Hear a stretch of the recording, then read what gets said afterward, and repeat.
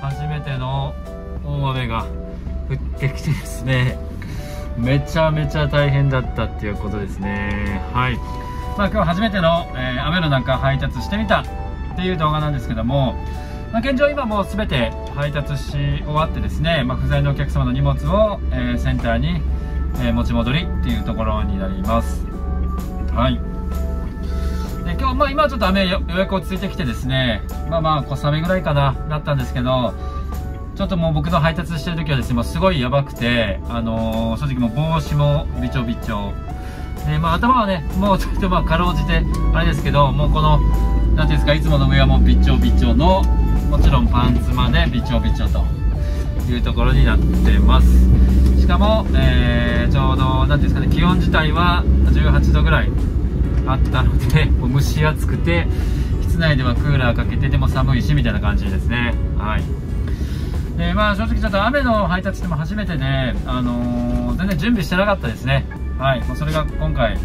まあ、失敗というか、まあ、こんな大変だった要因かなと思いますし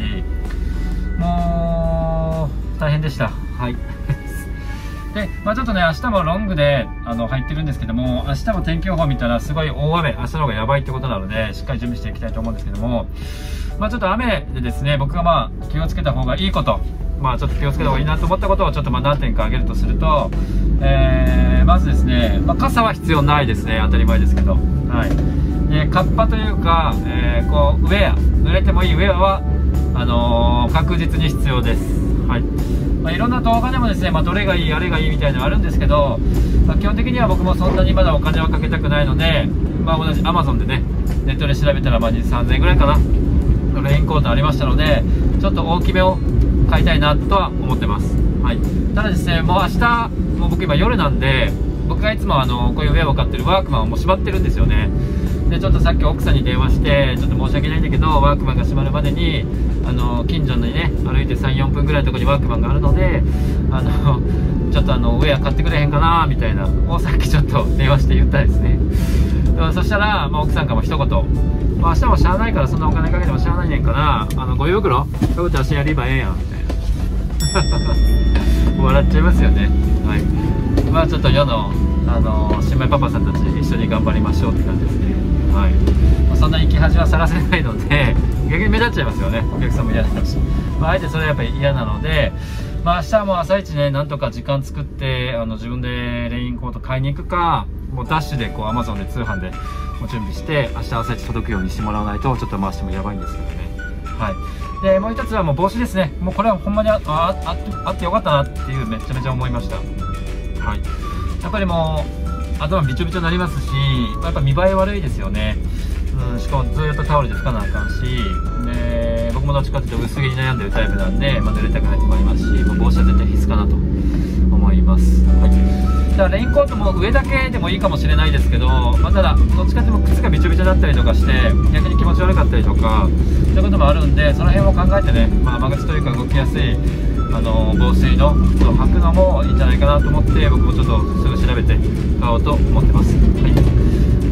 結構動画でも雨の日のあの夜間の配達はハードルが高いというか難易度マックスみたいな動画を見たことあるんですけど、まあ、確かに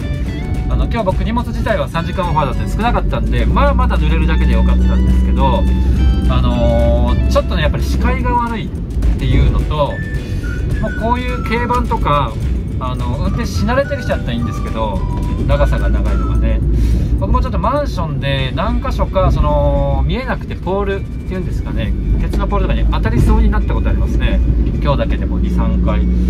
まあまあ、あのー、幸いゆっくり運転してたんで、まあ、気づいてブレーキかけてぶつからなかったんですけどちょっと危ないこともやっぱあると思うんで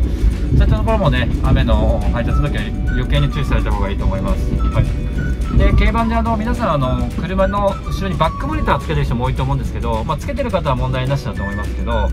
僕もちょっと車買う時にケチったんでバックモニターじゃなくて普通に後ろにミラーがついてるタイプを買ったんですね。だからちょっと余計に見にくいのでバックモニターもあった方がいいんじゃないかなと思います。はい。でまあなかなか雨の日ですね。配管もちょっとまあできる人も多いと思いますけどまあ僕の場合はちょっと配管もできなかったんであの今日持ち戻りになるんですけどまあちょっと雨の日はもうちょっとやりたくないですね。正直、まあ、大変だし蒸し暑いし高橋さん慣れてないのに危ないしみたいなね、うん、というところもあるんで、まあ、ちょっと僕は反省ですね。やっぱり雨の日もやっぱり天気っていうのもやっぱり毎日チェックした方がいいですし、まあ、やっぱ事前準備が何よりも大事だと思うんで、まあ、事前に、えー、急に雨降ることもあると思うのでもう皆さんの場合は車にですね、えそういったものを準備された方がいいと思います。明日の明日大雨ですけどちょっと自分なりに頑張っていきたいと思います。はい。では今日もお疲れ様でした。